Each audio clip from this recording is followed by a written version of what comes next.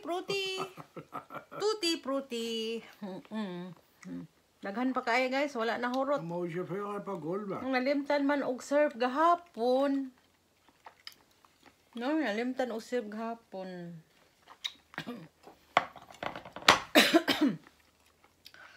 Di na mo maato.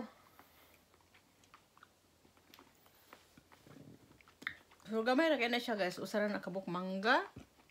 Unya tunga nga kaning honey nga kaning mil milon nga puti, unsa nga ani niya, nga yellow ang panit. O kani pod siya nga melon, ha, honey, honey melon man ni siya, honey melon. Katunga ra pod.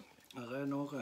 Pero ang ako ang ah, grapes kay usa na siya kapak nga. Ha? Nay. Unya, ang ako ang kiwi duha ra sad ka buok. Pero daghan kay siya. Ang gamay-gamay ra gani imong paliton nga fruits nga imong hiwa-hiwaon imong pundukon mo daghan. Nakala siya kay hangol ka na siya og kuan grapes. Kanang grapes iha gyud ng hutdon nga usa ka pack. Makahurot na siya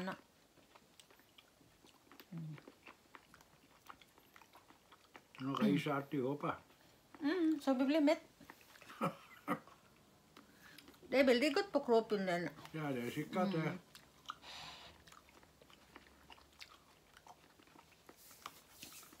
Det var veldig dårlig smak, den her. Er det er dårlig. Den, den er dårlig smak. Kiwi. Jeg, jeg trodde det var godt. Kiwi, la meg en kiwi. Den. Ang duha ka melon kay wala siya lami, mura siya og wala pa nahinog.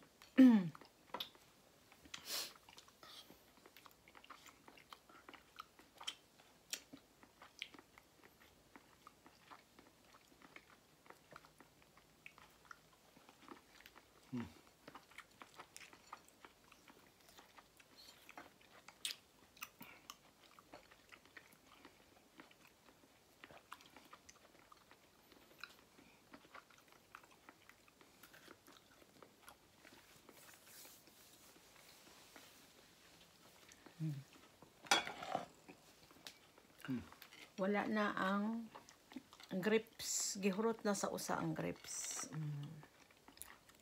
Yoy. Yoy. Ikke misse det på gulvet. Daghan pa ang mangga. Napa siya melon nga yellow ang kani. Dili ni siya watermelon. Ano na siya nga, nakalimot ko niya. Kani siya kay honey melon. Melon honey. Honey, honey. vakker Ingrid kommet allerede? Mm.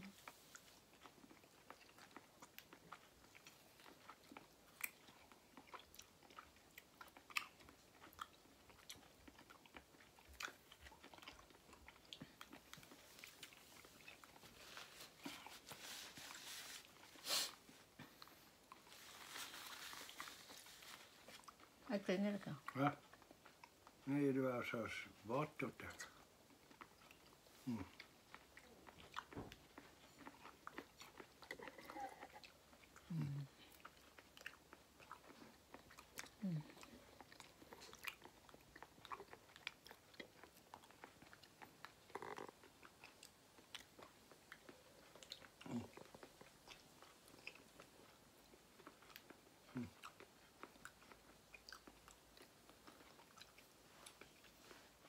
Ja, det var riktig en god mat. Mm. Mm. Sådan som er der. Går det bra?